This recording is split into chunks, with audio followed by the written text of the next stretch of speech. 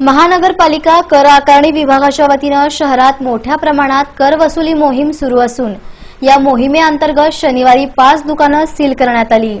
एक एप्रिलपासून आतापर्यंत एकोणसाठ कोटी अठ्ठावन्न लाखांची वसुली करण्यात आली आहे.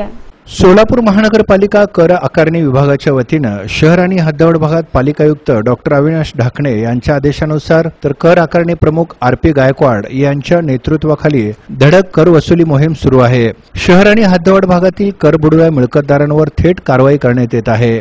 शनिवारी पश्चिम मंगळवारपेठ इथल्या टिळक चौक परिसरातील दर्यावर्ती महाराज पंच या मिळकतदाराची पाच दुकानं सील करण्यात आल्याची माहिती कर आकारणी प्रमुख आर पी गायकवाड यांनी दिली. चे मान्य आयुक्त यांच्या आदेशाने तसेच उपायुक्त यांच्या मार्गदर्शनाखाली आज अ, आणि आकारणी कर विभाग यांच्याकडून टिळक चौकामध्ये वसुलीची मोहीम राबवण्यात आली.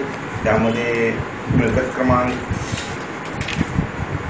घर नंबर आठशे आणि घर नंबर आठशे एक या दोन्ही मिळकतीवर कारवाई करण्यात आलेली आहे.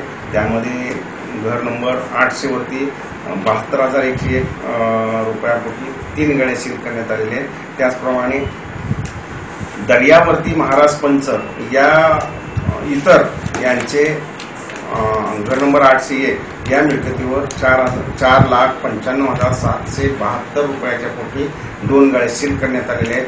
त्याप्रमाणे सर्व मिळकतदारांना सूचित करण्यात येत आहे की आणि शास्ती पन्नास टक्के जी माफ करण्याची मोहीम आम्ही राबविण्यात आलेली आहे. दिनांक एक एप्रिल दोन हजार सतरा ते तीन मार्च दोन हजार अठरा दरम्यान एकोणसाठ कोटी अठ्ठावन्न लाख एकाहत्तर हजार एकशे दहा रुपयांची कर वसुली करण्यात आली असून शनिवारी वीस लाख सव्वीस हजार तीनशे एक्केचाळीस इतका कर वसूल करण्यात आला.